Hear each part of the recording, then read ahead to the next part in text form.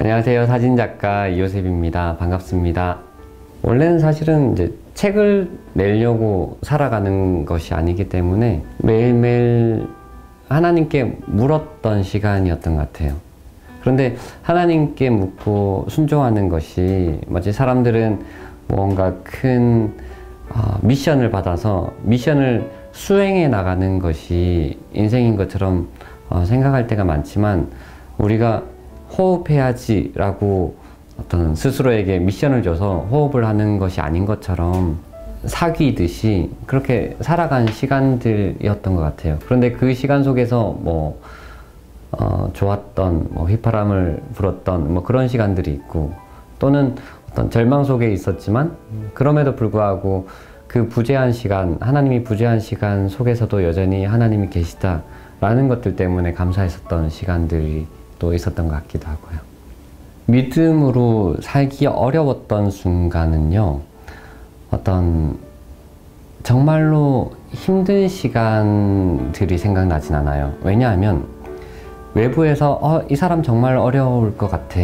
정말 힘들 것 같아. 라고 하는 광야와 같은 시간들을 살았다라고 하더라도 하나님이 정말로 가까이 있으면요. 그 시간을 스스로는 아, 정말 힘들다, 괴롭다라고 느끼진 않는 것 같아요. 그런데 어, 순종하기 힘들다, 믿음으로 살기 어렵다라고 하는 순간은 의외로 어, 우리가 쉽게 순종할 수 있는 시간들인 것 같아요. 그런데 어, 좀 귀찮은데 내가 굳이 이렇게 해야 되나? 일상 속에서 그냥 넘어가면 되는데? 라고 하는 시간들이 그러니까 충분히 순종할 수 있는 시간들이 더 믿음으로 살기 힘든 시간들이지 어, 정말로 광야와 같은 시간들은요 차라리 더 믿음으로 살기가 쉬운 시간들이지 않을까라는 생각을 해요. 매 순간 기도한다라는 게 뭐 당연한 말이지만 매 순간 어, 이렇게 기도를 했다가 뭐 일을 했다가 기도했다가 일을 했다 이런 개념은 아닌 것 같고 하나님께 계속해서 묻는 것 같아요. 그러면서 저는 뭐 여러 가지 이제 작업을 하거나 글을 쓰거나 하면은 우리가 하나님과 보내는 시간들을 마치 우선순위처럼 나눌 때가 직선형의 시간으로 나눌 때가 있잖아요.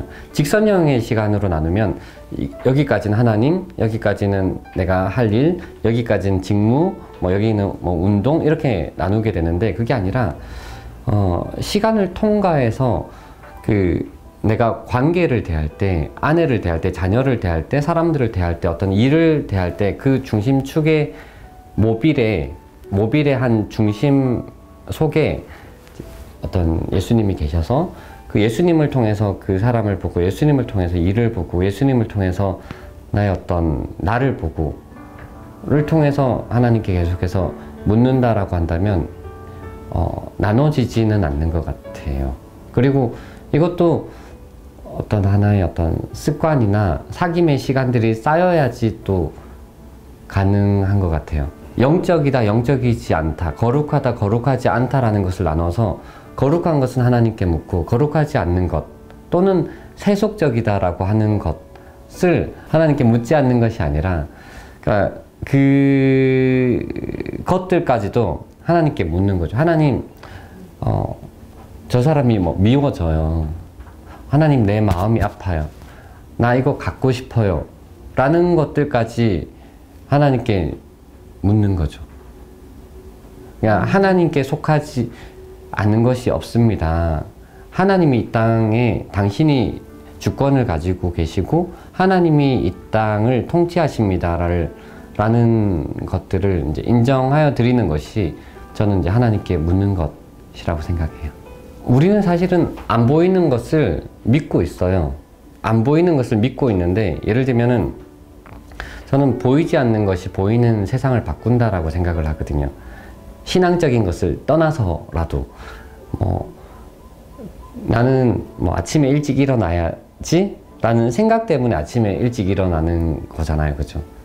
기계가 아닌 이상이야. 그러니까 우리의 생각이나 믿음이나 어, 사랑이나 어떤 온유함이나 이런 것들도 사실은 다 눈에 보이지 않거든요. 근데 눈에 보이지 않는 영역에 대해서 이런 것들은 인정하잖아요. 그러니까 하나님이 눈에 보이지 눈에 보이지 않는다라는 것을 차라리 하나님이 눈에 보이시면 보이면 믿겠다라고 할 때 과연 믿을까라고 저는 의문하게 돼요. 저는 되게 무능력하고 무관심하신 분이라고 생각했던 것 같아요. 하나님은 사랑이다 라는 것은 믿지만 실제적으로 내가 믿는 것은 사실은 믿는 것과 내가 실제로 하는 것을 보면 알잖아요.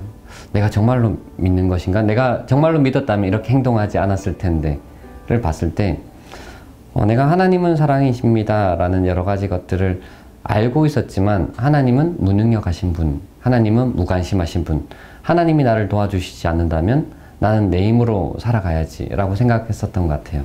그런데 어, 제 오해였던 것 같아요. 하나님과 사귀면 사귈수록 하나님은 내게 기대어도 돼. 내게 기대어도 돼. 너가 지금 누구에게 기대어 있니? 친구에게 기대어 있니?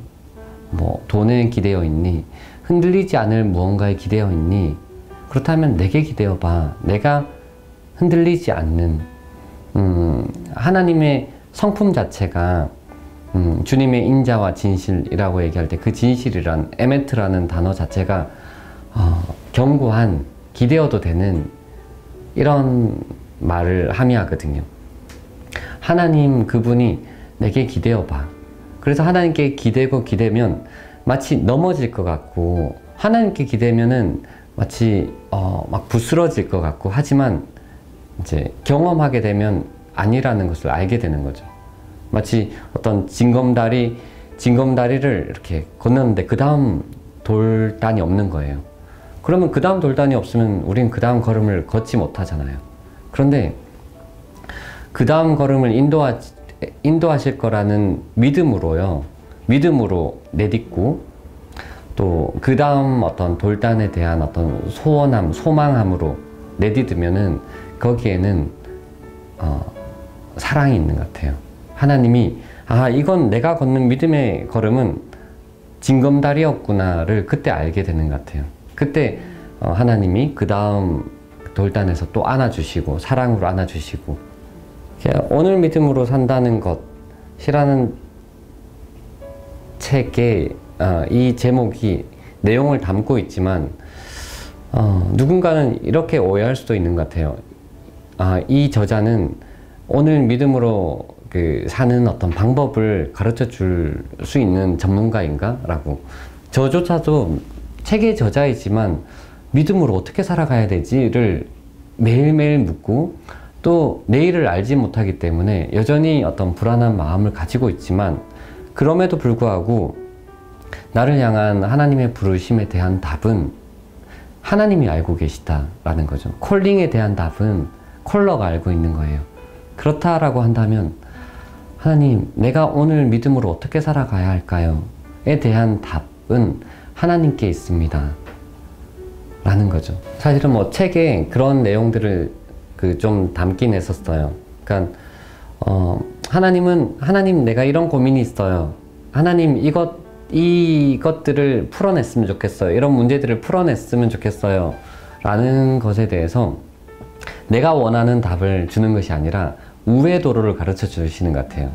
그래서 어, 내 문제와 전혀 다르기 때문에 이 우회 도로가 답을 찾아가는 길인지 모르고 우리는 그렇다면은 하나님 잠깐만 기다리세요. 내가 이 문제를 다 풀고 난 뒤에 이 길을 걸어가 볼게요. 라고 할 때가 많은데 돌아가는 길 같아 보이지만 이 우회 도로가 사실은 답을 찾아가는 길이었다라는 것들을 너무 많이 어, 알게 된 것 같아요.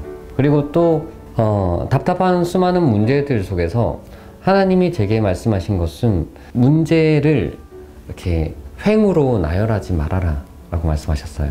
아, 내게 풀어야 될 문제가 이렇게, 이렇게, 이렇게, 이렇게, 이렇게 있지. 라고 횡으로 나열하는 대신에 종으로 나열하게 되면 내 앞에 선 문제는 하나라는 거예요. 그 내 앞에 선 문제를 이렇게 계속해서 처리해 나가면 또 그 다음 문제가 오락, 오락 게임처럼 한 칸 또 나오면 또 그 문제를 이렇게 해결하고 또 그 문제를 해결하고 그러다가 이렇게 날이 저물면 어, 내일에 대한 문제는 내 몫이 아닌 거예요. 내일의 문제는 내일에게 맡기고 나는 주님 안에서 평안하게 쉬는 거예요. 마치 엘리베이터 안에서 어, 목적지까지 가야 되는데 내가 아무리 마음이 급하다고 발을 동동 그려도 엘리베이터 안에서는 내가 어떻게 할 수가 없는 거예요. 엘리베이터 안에서는 그냥 평안하게 쉬고 뭐 신발끈을 묶고 체력을 아끼고 또 문이 열리면 또 달려가야 하는 것처럼 또 내일이 되면은 또 다음 문제가 또 앞에 서게 되고 그 하나의 문제 앞에서 내가 충실하게 그 일들을 해나갈 때 언젠가 어 내가 이 문제들을 어떻게 풀어나가야 되지? 라고 생각했었던 그 시간들이 있었는데 아 이렇게 고백하게 되는 거죠. 하, 하나님 문제는 영원하지 않습니다. 영원한 것은 하나님이십니다. 하나님 문제가 영원할 줄 알- 알았는데 문제는 영원하지 않습니다 영원한 것은 하나님이십니다 저는 문제에 대해서도 자주 이렇게 기도하고 선포해요 영원할 것 같은 그것이 사람에 대한 문제이건 환경이나 갈등에 대한 문제이건 간에 이 문제는 영원하지 않습니다. 영원한 것은 하나님이십니다. 하나님이 기뻐하시는 어떤 요소 요소들이 있는데 구약에서부터 계속 어떤 고아와 과부에 대한 또 나그네에 대한 하나님의 마음이 계속해서 이어지고 있고 또 예수님도 어, 가장 작은 자에게 한 것이 곧 나에게 한 것이다 라고 말씀하시는 거죠. 우리는 실제로 누군가한테 한 것이 그 사람에게 한 것이지만 예수님은 가장 작은 누군가 이 사람에게 한 것을 나한테 한 것과 똑같이 여길 거야 라고 말씀하시는 거예요. 내가 만나는 우리 가정에서 만나는 아이들 어, 또 어떤 아내 또 그 내가 만나는 나의 어떤 환경에서 만나는 한 사람 한 사람이 어, 이렇게 이렇게 대하면은 그 사람을 안아주면은 마치 예수님 내가 우리가 신앙을 고백하는 믿음의 고백을 하는 이런 고백들을 직접적으로 예수님께 한 것과 똑같이 내가 여길게 라고 하시는 거죠. 작년 한 해에 제가 가장 기억에 남는 가장 감사했었던 하루는요. 어, 작년 12월 30일 날 아이들이 다 잠들고 그 아내랑 이렇게 잠들려고 하는데 아내가 내게 이렇게 말했어요. 어, 오빠 우리 이렇게 같이 산 시간들이 오빠랑 산 시간이 너무 감사해. 어, 이제 우리가 더 나이가 이렇게 들면은 이제 늙게 되고 또 죽게 될 텐데 어, 천국에 가서도 오빠가 내 오빠였으면 내 남편이었으면 그래서 같이 어, 살아 주었으면 좋겠어 라고 했었어요. 그런데 그 말이 제게 하나님의 응원의 메시지처럼 들렸어요. 마치 믿음으로 살아간다라는 것이 어, 누군가를 책임질 수도 없을 것 같고 책임지는 것뿐만 아니라 나 혼자를 어떤 감당하기도 쉽지 않을 것 같아 보이지만 하나님은 그렇지 않아. 그렇지 않아. 어, 사람들은 하나님을 관념적이라고 생각하지만 그 하나님이 너무나 실제적이시고 구체적이신 너의 아빠야. 라고 하나님 말씀하시는 것 같아요